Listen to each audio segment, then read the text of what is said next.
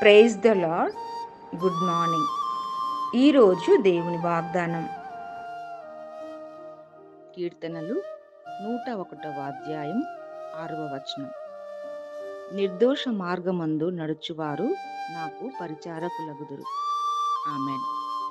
ప్రియమైన దేవుని బిడ్డలారా దేవుని పరిచారకులుగా ఉండడము ఎంత ధన్యత ఎంత ఆశీర్వాదం.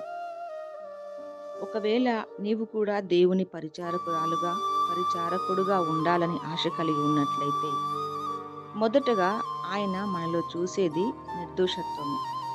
మనము తన మార్గంలో నడుస్తున్నామా లేదా అని ప్రభు గమనించే దేవుడు.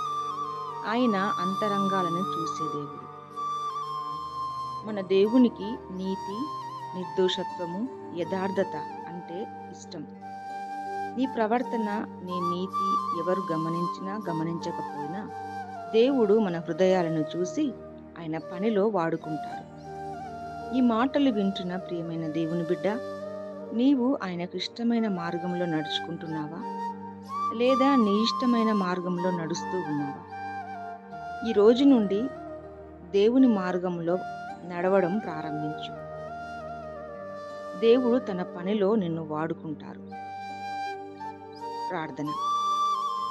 మమ్మల్ని మిక్కిలిగా ప్రేమించే మా ప్రియా పరలోకపు తండ్రి మీ వాగ్దానం బట్టి వందనాలు.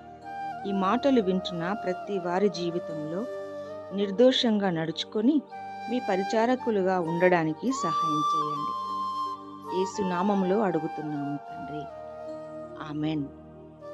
ఆమెన్.